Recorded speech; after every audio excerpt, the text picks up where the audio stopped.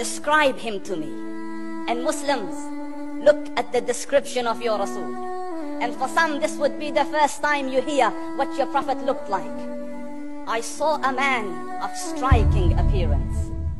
ظاهر الوضاء أبلج الوجه radiant face حسن الخلق beautifully created لم تعبه الثجلة his belly wasn't protruding ولم تزر به السعلة nor was his head disproportionate and small وسيم قسيم proportionate and delicate finely made a specimen of a creation في عينيه دعج in his eyes there was a contrast the dark was immensely dark.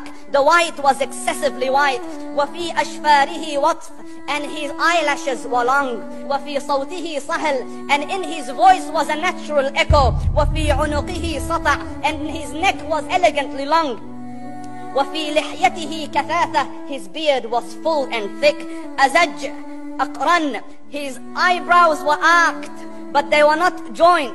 It was separated.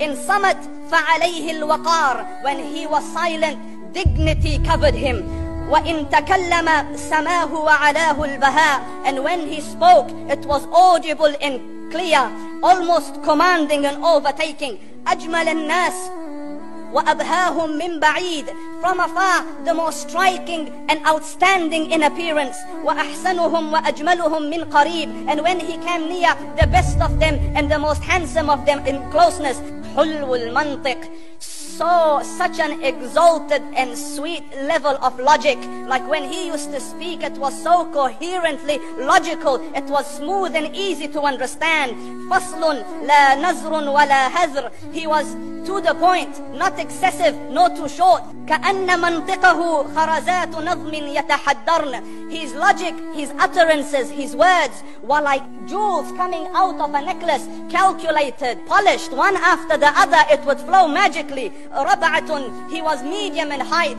your eye didn't have to strain to look up at him nor was it tedious to look down at him he was a comfortable sight to look at له رفقاء يحفون به they had friends the people that were with him they were working around him to try to serve and protect him in قال سمعوا لقوله when he used to say something they used to hearken to what he used to say وإن أمر تبادروا إلى أمره when he commanded they used to compete to fulfill the command this is Muhammad Rasulullah this is Muhammad Rasulullah Anas ibn Malik says he says, I came out one night, uh, I came out one night, it was the full moon night. And I looked at the moon and in the desert understand the moon is, is an awesome sight. It is smooth. It is radiant. It is clear. It is gentle compared to the scorching sun at which they are used to. So the moon was the epitome of beauty. So he says, I came out at a full moon night and I looked at the, at the moon and I saw it beautiful, handsome. So I said, let me go see if the moon is more handsome or my prophet is more handsome. Let me see if that is more beautiful or the prophet is more beautiful. So I went and I saw him standing afar. So I looked at his face and I looked at the moon and I looked at his face and I looked at the moon and I looked at his face and I looked at the moon and he said, Wallahi, he was more handsome than the moon in its entirety. That, that is just the look of your Rasul. Aisha radiallahu anha says, I was sewing with the needle. My needle dropped in the dark. I couldn't find it. I said, Ya Rasul, I can't find it. He moved his face close and I swear, out of the radiance of his face, I found my needle. And the Prophet sallallahu alayhi wasallam was mind-bogglingly handsome. But his handsomeness was covered with waqar and jalal and hayba. The Sahaba say, when we used to sit at, at his feet, two feelings conflicting would come on the heart. The first one, you wanted to look at him. You wanted to behold the majesty of his face. And when you wanted to look up, shyness used to overtake you, so you used to look down. Amr ibn al-As says, I sat with him many times, but if you ask me to describe his face, I can't describe it.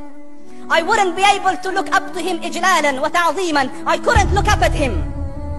And that is why he didn't have the problems that Yusuf alayhi salam had. Because it was difficult to penetrate the awe and the splendor of the Rasul.